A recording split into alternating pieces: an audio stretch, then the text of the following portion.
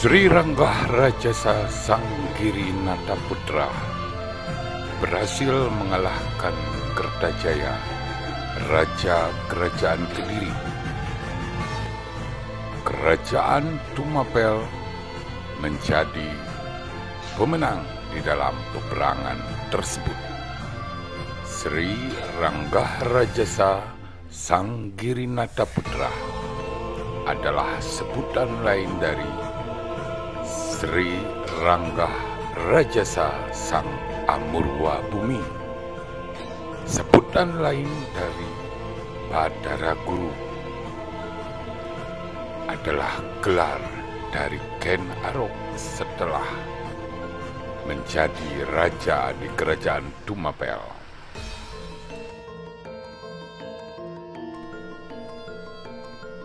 Secara resmi berdasarkan Prasasti Kudadu, nama resmi kerajaan yang didirikan oleh Ken Arok adalah Kerajaan Tumapel. Demikian pula menurut negara Kertagama, nama kerajaan tersebut adalah Kerajaan Tumapel dengan ibu kota Kuta Raja.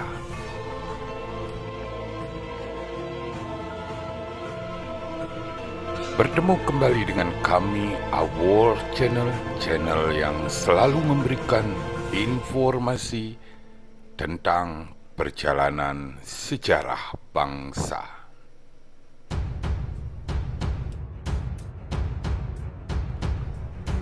Sebelum lanjut, tetap dukung kami dengan cara subscribe, like, comment, and share.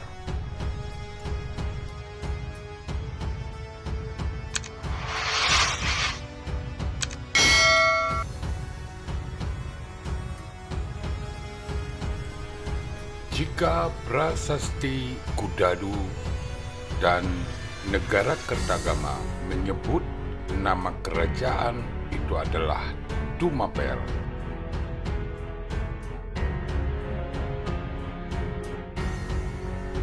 Menurut prasasti Mula Marurung yang dibuat pada tahun 1255 oleh Raja Kertanegara menyebutkan bahwa pendiri kerajaan Tumapel adalah Badara Siwa.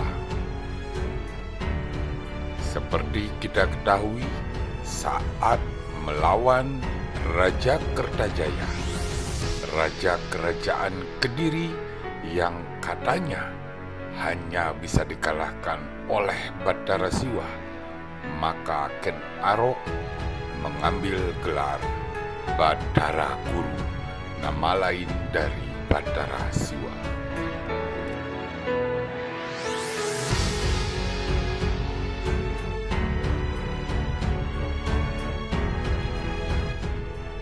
Baik para raton maupun negara Kertagama menyebutkan bahwa pendiri kerajaan Tumapel adalah Sri Rajasa.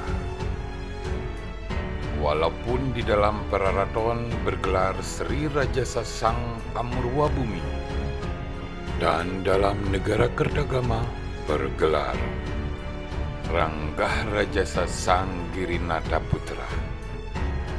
Dari kedua catatan-catatan tersebut diketahui bahwa Ken Arok adalah pendiri Wangsa Rajasa.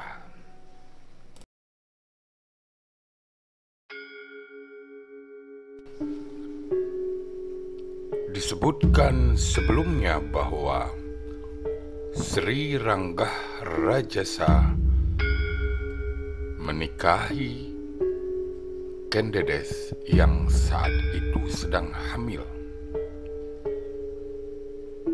Dan setelah berhasil mengalahkan kerajaan Kediri, dengan runtuhnya Kediri, maka wilayah kerajaan Tumapel menjadi semakin luas.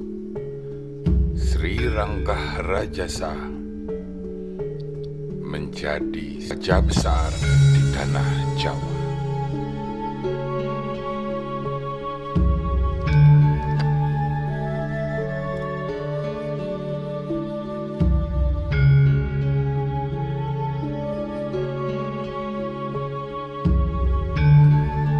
Selain menikahi Kendedes, Sri Ranggah Rajasa juga mempunyai seorang selir yang bernama Ken Umang.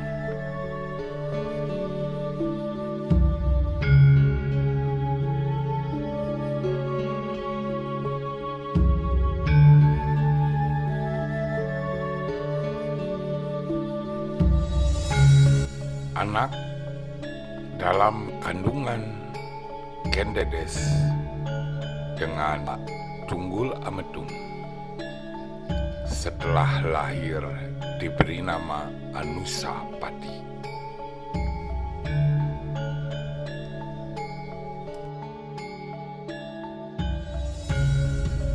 Pernikahan Sri Ranggah Rajasa dengan sang permaisuri Kendedes melahirkan empat orang anak yaitu Mahesa Wongedeleng, Apanji Samprang, Agnibaya, dan Dewi Rumbu.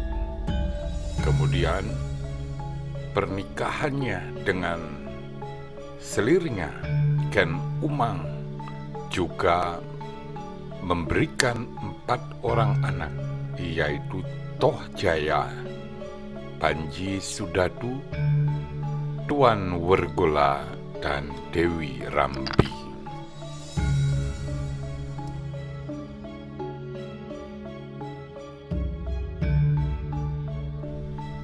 Sri Ranggah Rajasa memimpin kerajaan Tumapel dengan sangat bijaksana. Sementara anak-anaknya tumbuh semakin besar.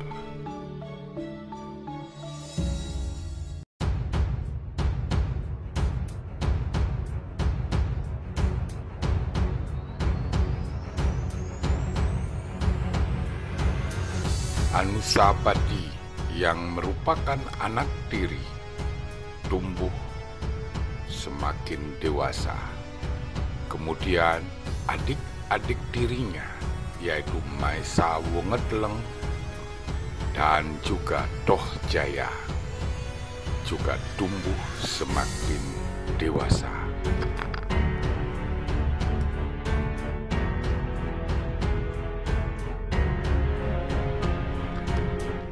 Dalam perlakuan kehidupan ternyata Anusapati merasa heran pada sikap dari Sri Ranggah Rajasa yang seolah menganaktirikan dirinya. Padahal ia sebagai putra tertua putra sulung dari Sri Ranggah Rajasa. Rasa heran dan tidak mengertinya akhirnya membuat sang Anusapati menanyakan dan mendesak ibunya Kendedes. Kenapa perlakuan Sri Ranggah Rajasa terkesan berbeda terhadap dirinya dan terhadap adik-adiknya. Akhirnya Anusapati mengetahui kalau ayah kandungnya bukanlah Sri Ranggah Rajasa, melainkan Tunggul Ametung yang dulu menjadi aku di Tumapel yang mati tewas dibunuh oleh Sri Ranggah Rajasa yang menjadi ayah dirinya.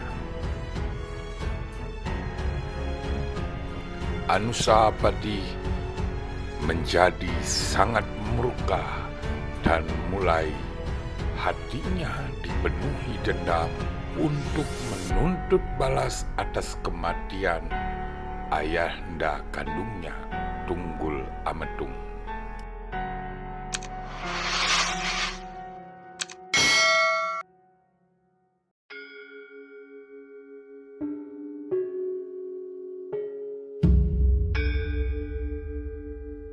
Akhirnya Anusapati berhasil mendapatkan keris empu gandring yang selama ini disimpan oleh ibunda Kendedes. Ia kemudian menyuruh pembantunya yang berasal dari desa Batil untuk membunuh Sri Ranggah Rajasa. Dan Sri Ranggah Rajasa tewas ditusuk dari belakang saat sedang makan sore Sesaat kemudian Anusapati ganti membunuh pembantunya untuk menghilangkan jejak. Sri Ranggah Rajasa tewas tertusuk keris empu gandring.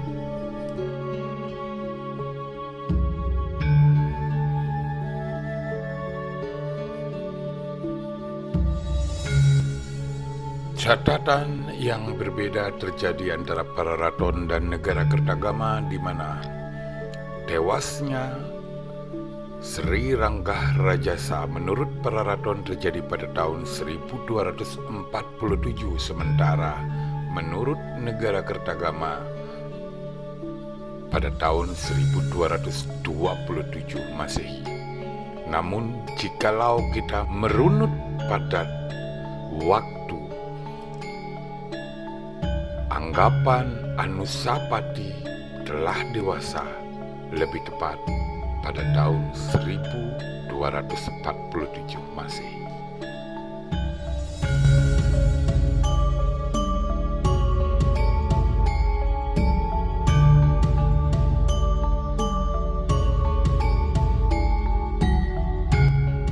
Peristiwa pembunuhan terhadap Sang Ranggah Rajasa yang tertuang di dalam Praraton diperkuat oleh prasasti Mula Malurung 1255 Masehi disebutkan dalam prasasti itu nama pendiri kerajaan Tumapel adalah Batara Siwa yang meninggal di atas tahta kencana. Berita yang tertuang di dalam prasasti tersebut menunjukkan bahwa kematian Sang Ranggah Rajasa memang tidak sewajarnya. Beliau meninggal di atas tahta kencana. Berdasarkan kedua catatan, diketahui bahwa perbedaan pemerintahan zaman Sri Ranggah Rajasa tertuang di dalam Pararaton sejak tahun 1222 Masehi sampai 1247 Masehi saat beliau wafat tewas tertikam keris empu gendring. Sementara di dalam negara Kertagama disebutkan bahwa Sri Ranggah Rajasa Giri Nata Putra memimpin kerajaan Tumapel sejak tahun 1222 sampai 1227. Setelah wafatnya Sri Ranggah Rajasa, Anusa Pati naik tahta pada tahun Saka 1170 atau 1248 Masehi. Pemerintahannya dilanda kegelisahan karena cemas akan ancaman balas dendam anak-anak yang lainnya, putra dari Sri Rangkah Rajasa yang lainnya. Puri tempat tinggal Anusapati pun diberikan pengawalan yang sangat ketat bahkan dikelilingi oleh parit yang dalam. Meskipun demikian, Toh Jaya, putra Ken Arok dari selir yang bernama Ken Umang tidak kekurangan akal. Suatu hari, ia berhasil mengajak Anusapati keluar mengadu ayam. Anusapati menurut tanpa curiga karena hal itu memang menjadi kegemarannya. Sang Anusapati asik menyaksikan ayam bertarung Tiba-tiba Toh Jaya menusuknya dengan menggunakan keris empu gandring.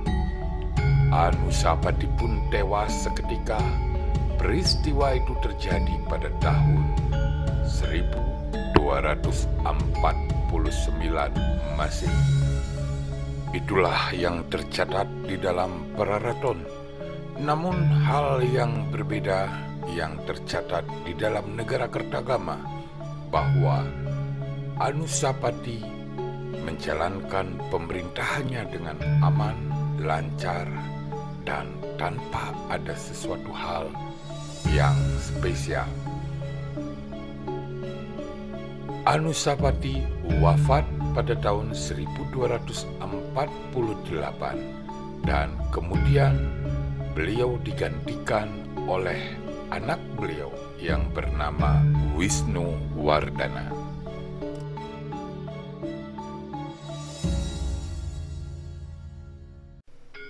Kisah tentang Raja Anusapati yang tercatat di Pararaton dan negara Kertagama jelas sangat berbeda.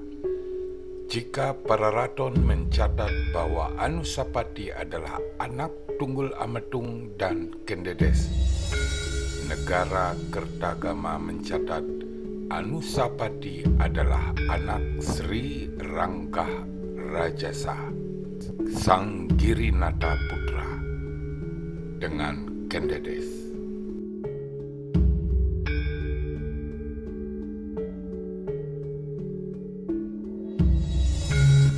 Para raton mencatat Anusapati memerintah sejak tahun 1247 sampai 1249 saat beliau tewas ditikam oleh Toh Jaya. Sementara negara Kertagama mencatat beliau memerintah 21 tahun, yaitu sejak tahun 1227 sampai 1248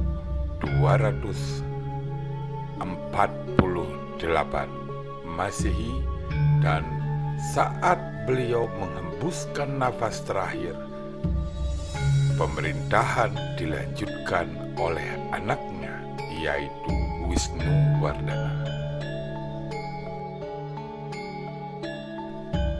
Sejak wafatnya Sri Rangkah Rajasa Dumapel dipimpin oleh Anusapati, sementara Kediri dipimpin oleh Parameswara atau Mahesa Wongetleng dan hubungan mereka tidak berjalan baik.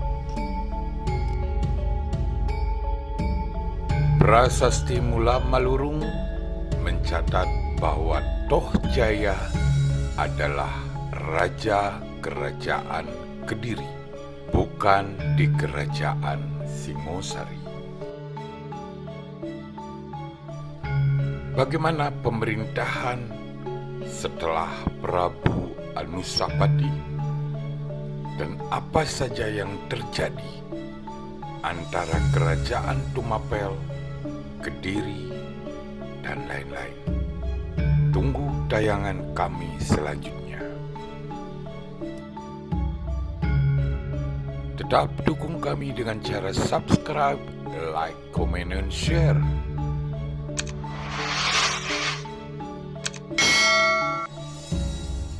Terima kasih.